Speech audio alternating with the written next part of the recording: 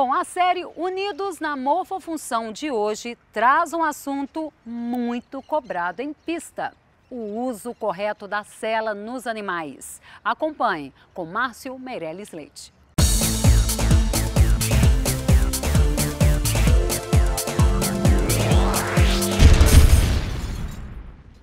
mais uma vez aqui no Aras Caxambu e hoje o assunto é colocação de celas.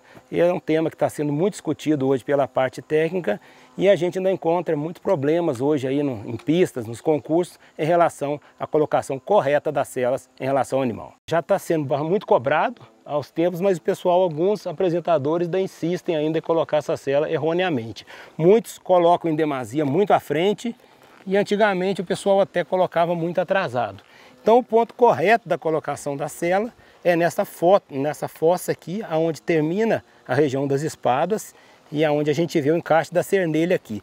Então a cela tem que ser colocada nessa posição, porque o que está acontecendo hoje? Muitos apresentadores colocando na frente, travando totalmente a região das suas espadas e o trem anterior como um todo, e isso está acarretando o quê? Um aumento da frequência, encurtando a passada e isso aí perdendo muita qualidade também dessa estabilidade do trem anterior. Então o posicionamento correto é dessa forma, nós temos que colocar a cilha, ela vai ser apertada aqui mais ou menos em torno de quatro dedos aqui do codilho, quando você encosta, dá uma pressãozinha maior na região da cilha.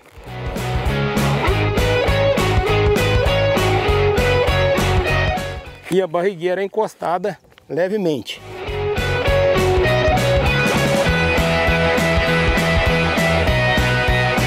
Com certeza, a cela nesse posicionamento correto, ela vai favorecer a performance do animal e as ajudas do cavaleiro em função do seu posicionamento da perna.